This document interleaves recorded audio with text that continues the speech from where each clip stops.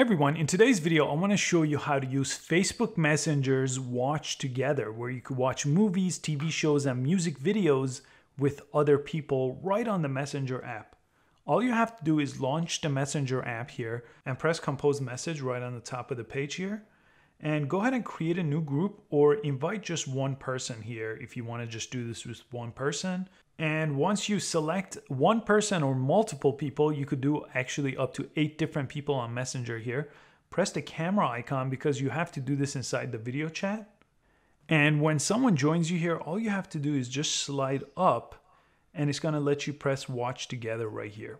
And you could watch music videos together, you could watch TV shows together.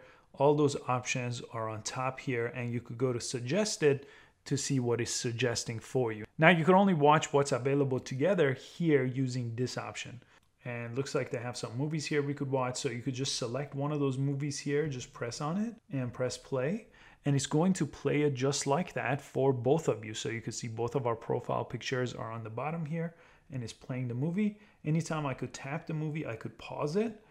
I could fast forward it and this is doing it for both of us, or even if there's eight people in here, or if you use this through messenger rooms, you could have up to 50 people even in the same room watching this together.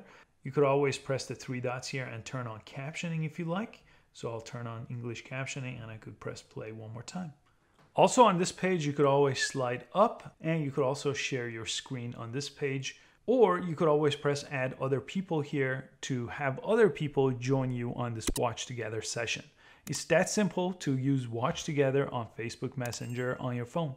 I hope you found this video useful. Please give it a thumbs up and I'll see you next time.